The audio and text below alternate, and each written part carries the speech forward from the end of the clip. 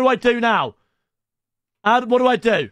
Everybody's on cam apart from the females. Well, well, well.